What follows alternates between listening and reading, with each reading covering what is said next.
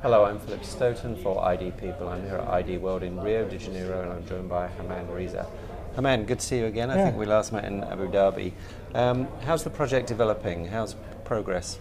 Yes, uh, the project uh, is coming along very well. Uh, we are now at the stage where we have completed all the enrollment mm -hmm. of uh, 100 45 million people. Yeah, uh, some people probably uh, are away or uh, couldn't come to the local enrollments. Uh, right.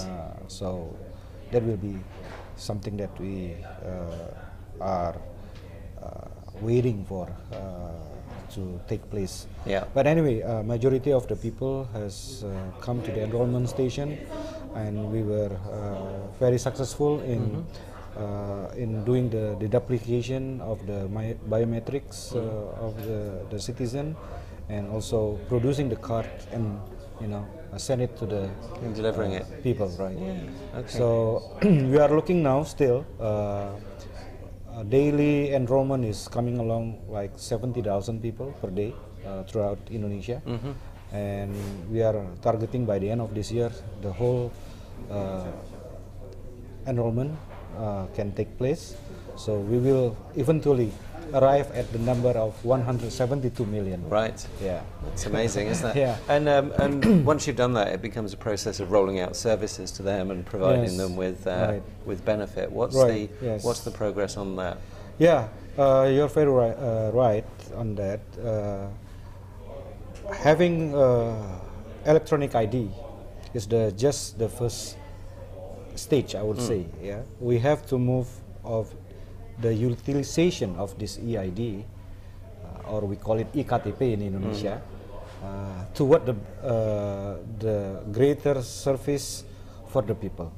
That means that we will use this uh, EID as part of our verification of uh, our next ec- election in 2014. Yeah, Okay. we will have a presidential election and also parliamentary election in 2014, uh, where that would be the first time.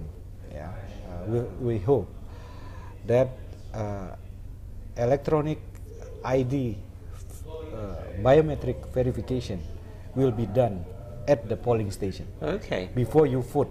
Yeah, okay, We will very do good. Uh, a manual voting system. Mm-hmm. We are not going to embark on electronic voting, but at least before you, you know, as you know, uh, so many uh, times uh, there are many fraud and forgery uh, during the election, Hmm. Yeah, and that's because yeah. you can actually balloon the voter list and things Yeah, like that. Right? yeah. So we expect by having this EID, You're going to have a our we will have a bet, Yeah. better election. Yeah, and an idea as a access to democracy is a Yeah, as a cornerstone that's the right. to the that's the right the word to process. say. Yeah. uh, next thing uh, that uh, we are moving from our national uh, level toward our uh, regional. Okay. In 2015, uh, as you may know, uh, the Association of Southeast Asian Nation, which constitute 10, coun- 10 countries uh, in Southeast Asia, will basically form the ASEAN community. Yeah. And one part of that is to have an IT or ICT master plan. Right. uh, and uh, electronic ID uh, is part of that, really. Uh, I would say this is a, a bigger challenge for Hmm. us, you know, uh, just like in uh, Europe probably, Yeah. where you have interoperability among, Yes, among yeah. those That countries, becomes right? the key, doesn't yeah, it? so Uh, we, we would like to have something similar to that in, Hmm. in, this, uh, in a certain sense. in those regions. Yeah. Yeah. Uh, basically, like you know, when you are uh, moving people in the region, Yeah. uh, whether it is labor, workforce, and other things, uh, goods and other things, yeah, we should be able to to do this uh, Yeah. Digitally. Yeah, and the and the absolutely, and the other nations within that within that organisation, what kind of progress are they making towards having their own well, uh, some electric? some of them are, are already uh, way ahead. I mean, like Singapore, for example, they have a SingPass. Yeah. You can use the, your ID to to have many services on Yeah. on the web, yeah, uh, Yeah. on the government website. Uh, also, uh, the Mal- Malaysian uh, MyKad, Mm-hmm. Yeah. Having uh, so many services uh, based on the use of uh, this okay, ID. okay, I think uh, other than the that, we certainly would like to have something more into the social welfare of the, Mm. our, our, our people. yeah, Uh, for example, how you verify and justify uh, the uh, subsidy program. yeah, Yeah. and make sure it's Yeah, delivered to yeah, the yeah. to the right If- people at the right So time. using EID and biometrics, probably Mm.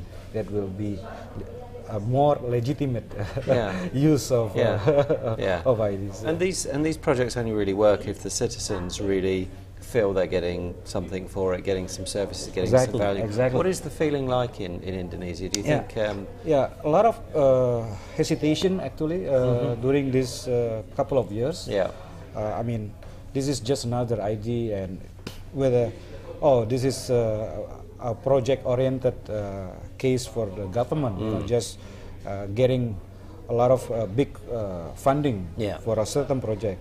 What is the benefit for, for us? For the individual, yeah. Then we try to explain yeah, the difference between the older uh, ID that you have and what is the benefit of having a, a chip in your Yeah. card now. Yeah. Okay. And uh, whether it is uh, secure, whether it is private, or Mm. whether it is a lot of things. yeah. I mean, for a layman, uh, people in the village, uh, it's quite complex. a peasant, yeah, uh, probably they say, oh, do I need uh, such kind of uh, digital ID? Mm. Yeah. Then you have to say, okay, this is how you go. yeah, Uh, this is what you can access. and what what kind of benefit you can Yeah, get yeah. from this. And unfortunately, you have to have the infrastructure there before you can provide the services. Yes, so yes, yeah. um, it takes some time to prove what you've said to the to the people. Is Exactly. is is enrollment compulsory? Yeah, enrollment is uh, compulsory. Yeah, So we put a specific time frame yeah, uh, for a certain uh, province or regions. Mm-hmm. Uh, in the first phase, there were like 176 of them. yeah. Uh, in 2011. Then we moved to 300 uh, other district Mhm. regencies uh, in 2012. Okay. And during that time, the local government have to really work, Yeah. you know, around the clock just to Yeah. to uh, uh, to let the people get Yeah. their enroll. Yeah, To and be collect enrolled, that yes, data. yeah, Yeah. Okay. Well, it's an exciting project, and it's obviously going to roll and roll. And I look forward to sure. speaking maybe in 12 months' Maybe, time. and- uh, and- maybe in yeah.